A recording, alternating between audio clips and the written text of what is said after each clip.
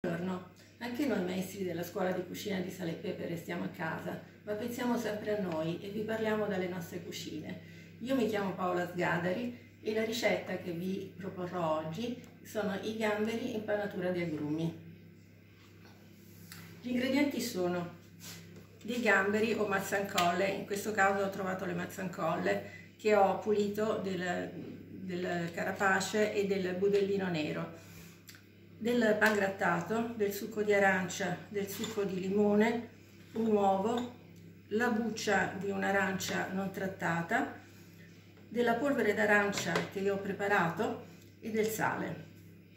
Avrò, ho preparato anche due mezze arance svuotate e parzialmente riempite con dell'insalatina.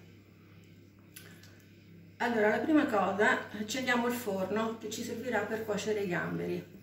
La polvere d'arancia, io ho preso un'arancia ovviamente non trattata, un pelapatate e ho ricavato solo la parte arancione.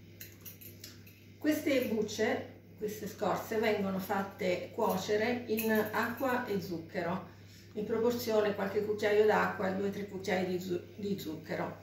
Quando saranno caramellate vengono messe sopra la placca del forno coperta da carta forno e fate cuocere in forno a 100 gradi per circa un'ora fino a che non saranno ben secche. Trascorso questo tempo facciamo raffreddare, asciugare per bene e li mettiamo nel, nel mixer per ridurre, ridurre la, la scorza in polvere. Questa polvere mi servirà per aromatizzare il pangrattato. La prima cosa che dobbiamo fare è quella di panare il, le, gli agru, i gamberi.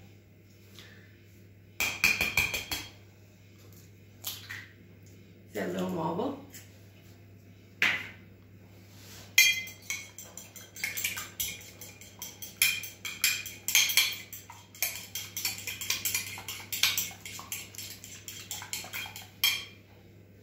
il pane grattugiato che aromatizzo con la polvere d'arancia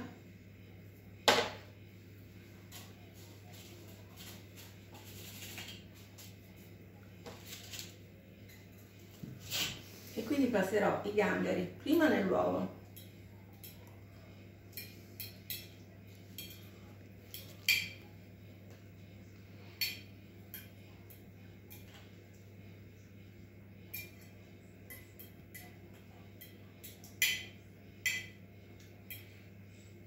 E poi nella panatura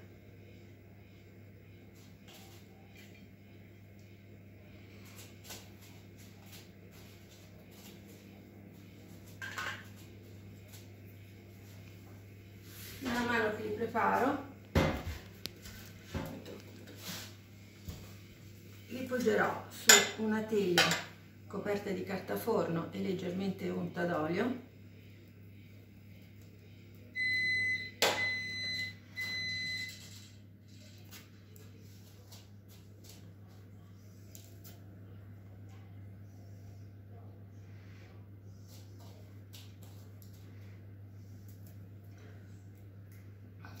non è necessario usare soltanto le mazzancolle, potete utilizzare i gamberi o quello che trovate più facilmente dal vostro pescivendolo.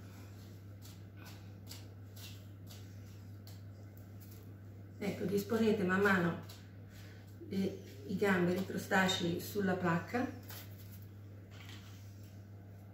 e così adesso le inforniamo a 180 gradi per circa 10 minuti. I gamberi non richiedono un, tempo lungo di cottura, altrimenti, altrimenti diventano poi stopposi e po poco gradevoli. Una volta preparata la nostra teglia, la possiamo infornare. Che faccio? Pausa. Per preparare la nostra salsina che condirà i gamberi mettiamo del succo di limone, del succo d'arancia, un pochino d'olio, extravergine d'oliva, un pizzico di sale e del pepe grattugiato al momento. Adesso emulsioniamo delicatamente e questa sarà la salsa che ci servirà alla fine per un condimento. Basta. Trascorsi 10 minuti i gamberi sono pronti e perfetti, li possiamo disporre nelle mezze arance, ce ne andranno 3, 4, dipende da quanto sono grandi i crostacei che avete a disposizione. In questo caso vanno benissimo 3.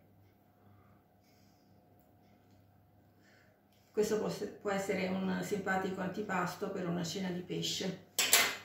Riprendiamo, riprendiamo la nostra emulsione, arancia, limone, olio, sale e pepe e condiamo leggermente i crostacei.